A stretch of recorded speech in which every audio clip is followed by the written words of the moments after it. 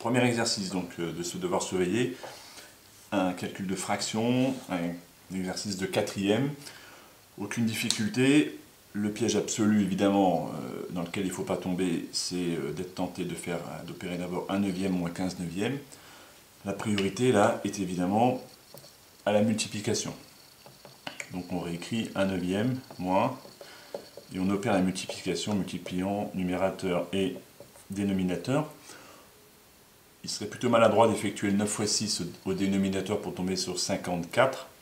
On va voir que comme on a 15 au numérateur, 3 est un diviseur de 15, on va pouvoir euh, faire une simplification, ce qui sera plus efficace que d'opérer directement. Donc 15, on peut l'écrire 5 x 3, 9, 3 x 3, et il nous reste le 6, et donc étant facteur au numérateur et au dénominateur, on peut donc simplifier, ce qui me donne 1 neuvième moins 5 sur 6 fois 3, 18.